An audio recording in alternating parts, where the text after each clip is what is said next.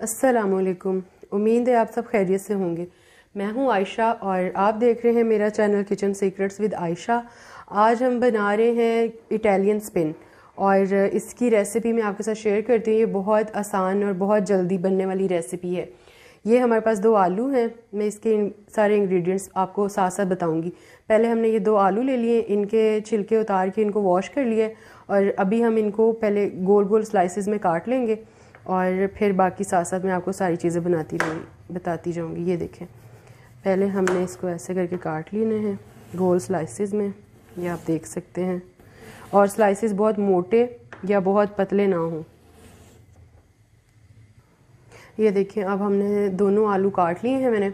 और इस तरह का स्लाइस होना चाहिए। ना बहुत मोटा, ना बहुत पतला। दरमियाने साइज़ के होने चाहिए। अभी हम ऑयल वगैरह वो बटर वगैरह लगाते हैं पैन में तो चले मैं आपको वो दिखाती हूँ। ये देखें, हमने एक फ्राई पैन ले लिया और ये हमारे पास बटर है। ये हम दो टेबल स्पून डालेंगे इसके अंदर और ये सिलिकॉन ब्रश के साथ अच्छी तरह सारा स्प्रेड कर लेंगे इसको पूरे पैन में। ये देखें, सारा बटर हमने इसके अंदर लगा लिया है। अब मैं सारे आलू के स्लाइसेस इसके अंदर रखती हूँ। ये देखें, ऐसे करके, एक दूसरे के ऊपर नीचे करके रखने, ताकि सारे एडजस्ट हो जाएँ। ये देखें लाइन में।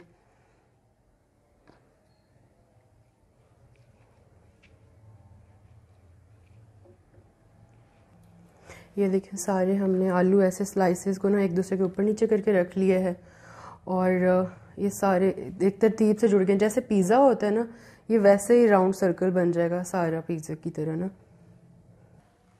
चले जी, ये देखें, ये हमने चार अंडे लिए हैं। इनको मैंने निकाल दिया है और एक बाउल में। और इसमें हम डालेंगे तकरीबन एक टेबल एक टीस्पून हम डालेंगे इसमें काली मिर्च काली मिर्च का पाउडर ये एक टीस्पून लाल मिर्च पाउडर हाफ़ टी स्पून इसमें हल्दी डालेंगे हम.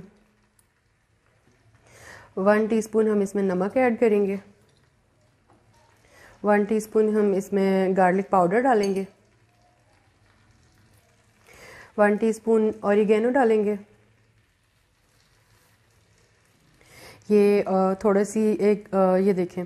ये हमारे पास हरी मिर्च है, छोटी सी, वो मैंने चॉप कर ली थी और थोड़ा सा धनिया चॉप कर लिया था, ये हम इसमें डालेंगे। और अब हम इन सारी चीज़ों को ना अच्छी तरह बीट कर लेंगे। ये देखें, अंडों के अंदर हमने सब कुछ बीट कर लिया अच्छी तरह। अब ये सारा इसके ऊपर फैला देंगे। ये देखें, इसके ऊपर सारे मैंने अंडे अच्छी तरह फैला दिए और अब हम इसको ना कवर करके ना 10 मिनट के लिए हल्की आँच पे दम पे रख देंगे। ये देखिए, इसको 10 मिनट हो गए हैं, दम पे लगे हुए, ठीक है। अब हम एक साइड से ये कुक हो गया, अब हम इसकी ना साइड चेंज करते हैं। आप चाहें तो एक प्लेट ऊपर उल्टी करके और उसके ऊपर रख के इसको दोबारा, इसकी दूसरी साइड कर ले, ताकि ये टूटे ना। तो साइड चेंज करके फिर मैं आपको दिखाती हूँ। और ये देखें इसकी ना मैंने अब साइड चेंज कर ली है। अब हम इसके ऊपर ना मोजरेला चीज़ डालते हैं। एक साइड से कुक हो गया, ये साइड जो कुक होगी ना, ये वो साइड है, ठीक है। अब इसके ऊपर ना हम सारी मोजरेला चीज़ डाल देते हैं। और दूसरी साइड अब नीचे कर दी, वो थोड़ी थोड़ी कच्ची होती है ना, ऊपर थी।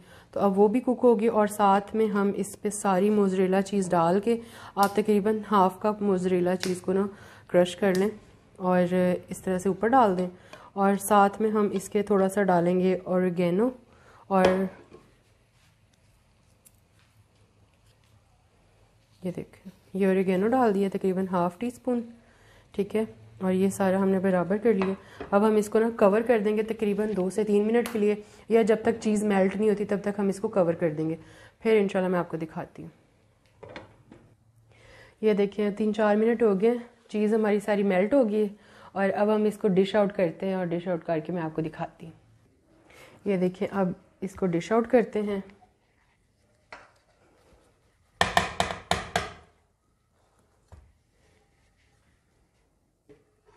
चलें, ये देखिए हमने इसको डिश आउट कर लिया। अब हम इसको ऐसे पिज़्ज़ा कटर के साथ सारे स्लाइसेस बना लेंगे, जैसे हम पिज़्ज़े के स्लाइसेस बनाते हैं। ये देखिए अब हमने इसके स्लाइसेस काट लिए हैं और इस तरह से ये देखिए अब ये माशाल्लाह से बन के तैयार हो गया और ये इस तरह से करके खा के ट्राई करते हैं।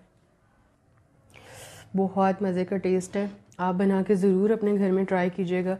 मुझे उम्मीद है आप सबको बहुत पसंद आएगी मेरी रेसिपी और इन आप भी बनाएँगे। तो आपको भी बहुत मज़ा आएगा ऐसे ये बहुत कम टाइम में और बहुत आसान रेसिपी है। और आप ज़रूर बना के ट्राई कीजिएगा और अगर आप मेरे चैनल पे नए हैं तो मेरे चैनल को सब्सक्राइब कर दीजिएगा। मेरी वीडियोस को लाइक कीजिएगा शेयर कीजिएगा अपने फैमिली और फ्रेंड्स में। और इन नेक्स्ट एक अच्छी सी वीडियो में मिलेंगे। और तब तक के लिए अल्लाह हाफिज़।